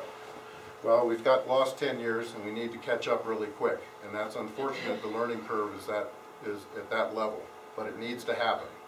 And it's gotta happen quickly. And the first thing is, is I would, I would more than double Lauren's commitment goal. Friends, the Republic is in tr- deep trouble here. And everybody seems to still be going, oh, I don't know. The- convenience of, the, the- the convenience of blissful ignorance is coming to an end shortly. Okay, we're hitting, it's going on in Europe right now, they're, they're hitting the point. I'm gonna be discussing some of the financial stuff going on in Cyprus on a radio interview in about a week. Um, somewhere which I can't even, like I said, I'm losing track of my schedule right now, but these things are, um, they're fast accelerating in ways that a lot of people don't understand. And whatever false recovery that we're sensing right now, it isn't real. Okay, it's, it's a, it's a mirage that's going to end soon. We're gonna go into the second downlight. And so people have to get committed and they have to start moving. Yes? Go ahead, I'll get you next. Um, I'm just, I agree with all that you're saying. No, please don't. total. No, I do agree.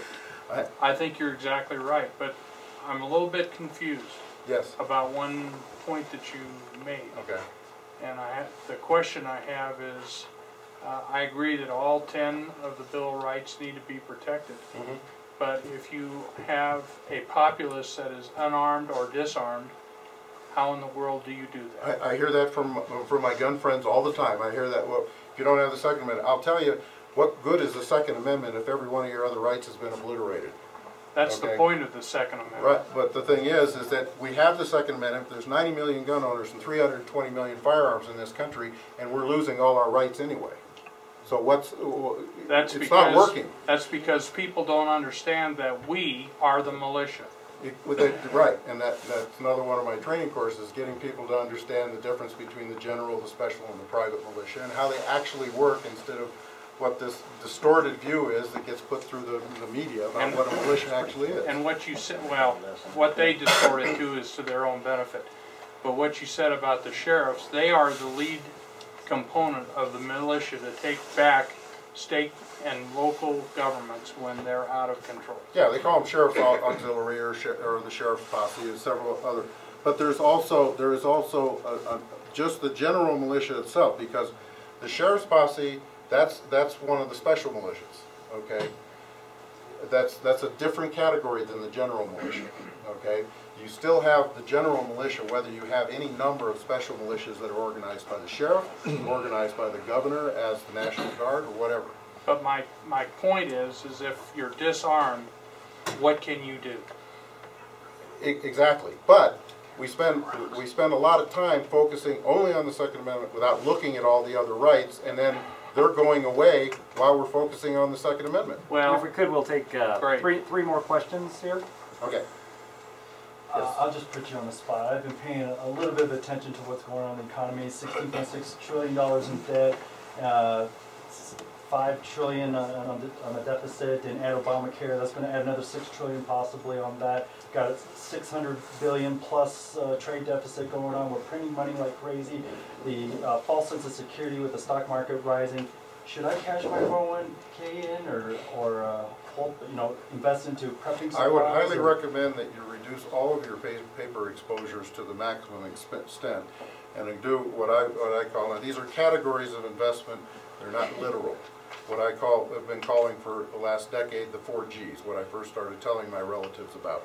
Guns, ground, groceries, and gold. What those are is categories, okay? Guns, anything in personal security, self-defense, look at, I mean, if, if somebody followed my, on Smith and Wesson, you know, stock, they would have like soared five years ago for what they were, right, to five years later and all the other arms manufacturers. Uh, so these are categories of investment, they're not literal. Ground, real estate, farmland, anything, anything solid ground, right? Um, uh, we got, we should probably wait in residential real estate until the, uh, until the next dip goes, because we're, we're in for the, net regardless of what they say. The only reason there's improvement in housing is because they're still holding millions of foreclosures in real estate owned properties o- out of the foreclosure business and off the market. They're not processing millions. Um, groceries, commodities, basic commodities, right? Anything that goes into essentials, that people need everyday services and essentials that people need every day from medical items, healthcare, groceries itself, vegetables, food, farm products, those things. Um, and of course, precious, precious metals. This, if you look, you know, there's really been nothing happen in the stock market. This is really funny the way that they put this because to be at the same, the same value that the stock market was at in 1999 when it hit 11.5, today it would have to be 15.3 to be at the same value, okay, based on inflation. I mean, all these misnomers about, you know, how this stuff worked, and even at its, even as 2000, 2006 or 2007 peak at 14, whatever, have to be at 15.8 to exceed that one. Okay? So it's not, it's not even what it was. It's, we're going through what Japan went through. In 89, their stock market, the, the Nikkei hit 39,000, just under 39,000. Well, it's, it's 11,000 today, and after you adjust for inflation, it's 17% of the value it was, and Japan is sinking out of sight fast. They're losing a million people in population every year. And Europe, what's going on, uh, well, like I said, these are whole things, whole stories in and of themselves. All I'm saying is, is that people have got to get out of this complacency, and they stop, have to stop listening what's being fed by the, by the mainstream media because there's so much garbage in it. It's almost unbelievable at this point. And have to start getting, you know, we have to start thinking for ourselves, taking care of ourselves, worrying about our neighbors, our, our, and our state. Because if we don't protect our states, the federal, we're gonna go into that black hole called the federal government implosion. And that fiscal abomination, it's been, it's so much worse than most people imagine, you know, when you get a look at it from the inside. I spent a lot of years going into DC and working government networks and inside. Any other questions for Jeff? It's a mess. Yes. Do you, do you have a website, um, someplace? Well, my web guy tells me it's still under construction. Well, you said you're speaking on the radio in a few weeks, you don't know your Yeah. schedule. Do you have a way to update your current talks or Not, not yet, Uh, yeah, my web guy is behind schedule. I'm, the book was published in January, and he said he'd be ready in February with some, and I'm, I'm out in front of his headlights right now, so, on the website, uh, but it should be up shortly. It's thecitizenslaststand.com.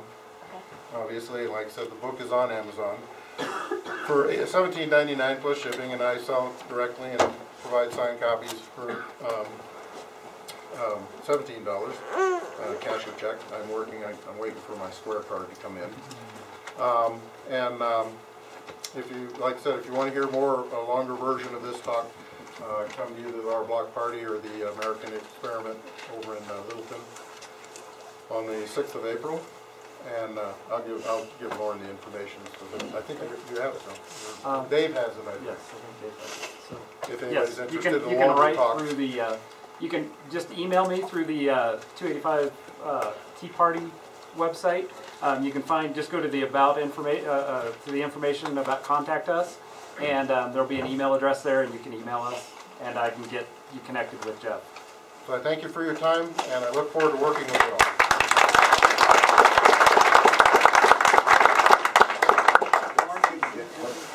Um, a couple of quick, quick things before we go. Elections matter. Elections definitely matter, okay? Um, and, and this group is about action. If you're interested in the 285 um, activist group, uh, please let us know and we'll get you involved in that. I mean, uh, coming here and hearing all this information is great, but if you go home and do nothing about it, we're not going to change things. So please also, if you're not on our mailing list, stop by the back table over here and make sure that you leave your name and email address or put it on the pieces of paper. Hopefully everyone had those in their seats and drop it off or just leave it in your seat. Thank you for coming. We Thank you. appreciate your time.